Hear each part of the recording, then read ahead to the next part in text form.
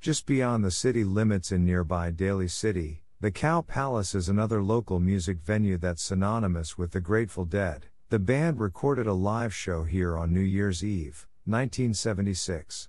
It's a bona fide agricultural arena, first opened in 1941 with the Western Classic Holstein Show, a showcase of Holstein dairy cattle, as its inaugural event.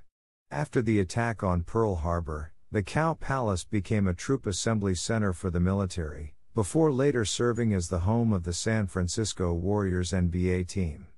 But it is its role as a legendary concert arena that really put the Cow Palace on the map, hosting acts such as Elvis Presley, the Jackson 5, the Rolling Stones, and Nirvana throughout its history.